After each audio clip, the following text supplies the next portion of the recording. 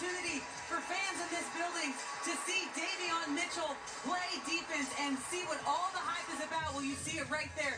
This guy absolutely is a pest. He's like that gnat that just won't go away. You can see him, you can hear him, but you can't get rid of him. He's done a tremendous job tonight making it difficult for Utah Jazz's perimeter players to get what they want.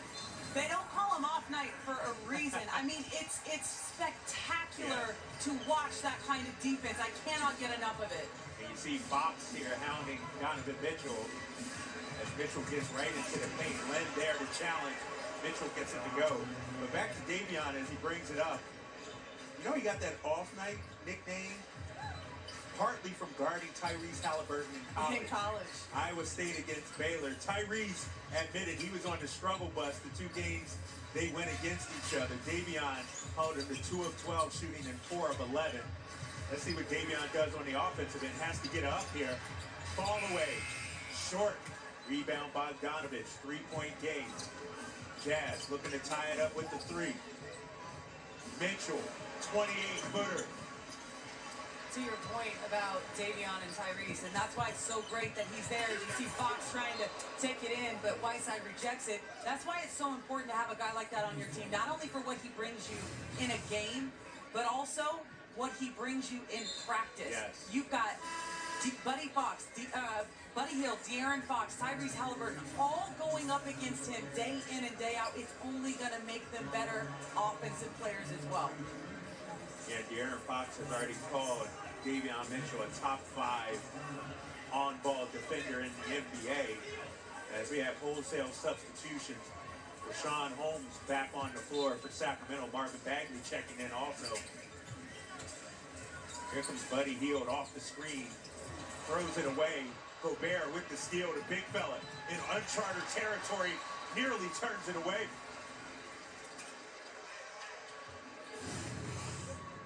Great hustle by Richaun Holmes to get up there, anticipate, get in front. And this is this is a, a nice play by him because he's in foul trouble. He's had some limited minutes because he's been in a little bit of foul trouble tonight. He's got four and has only played 13 minutes. So I love that hustle play by him and, and being able to do it without the foul. And to that point, Richaun last year would get into foul trouble and the Kings would struggle. Now yeah. you have some depth along that front line as Clarkson sees up a three, all air. I mean, it really does make a difference. That was the focus uh, for Monte McNair in the offseason. You know, Richaun had an injury, and it really, really hurt this team. They need Alex Len. They need these guys, Tristan Thompson, behind.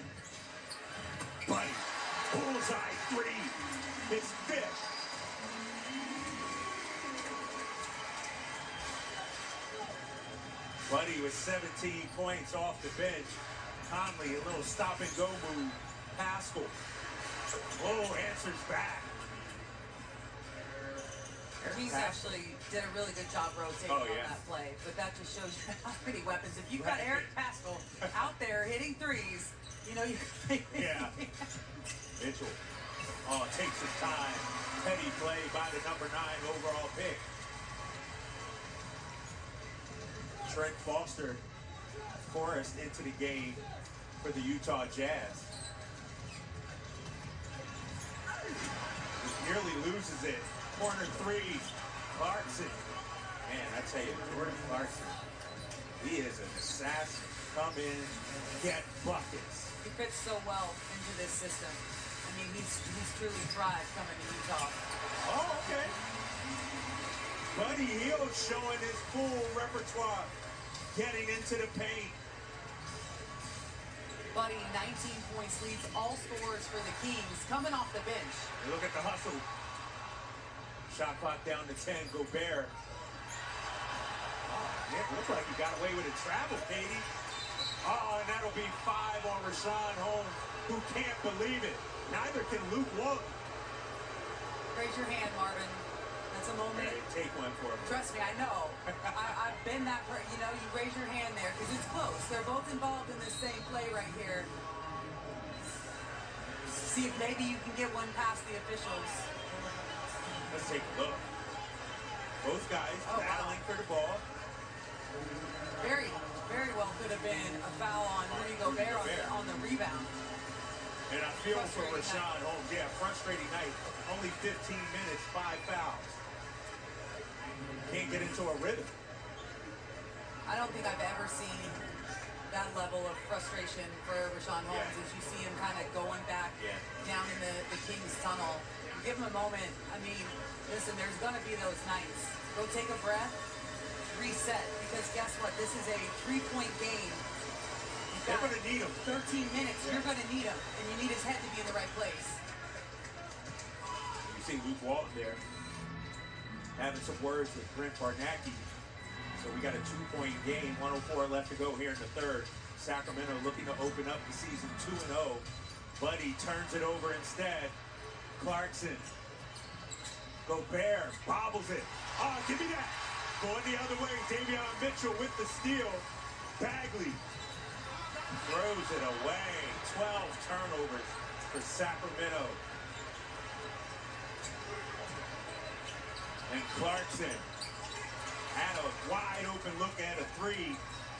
If I'm Sacramento, I need a good possession Yes. here. 30 on the clock in the third. Tyrese short on the jumper. You're 100% correct, Kyle. I mean, in a situation like this, you want to make sure you've had a few turnovers in a row. Make sure you go down, set it up. Talked about it earlier in the game, how important it is for them to get movement against this Utah defense. Here comes Clarkson, under five. Bagley in a defensive stance. Clarkson, got it.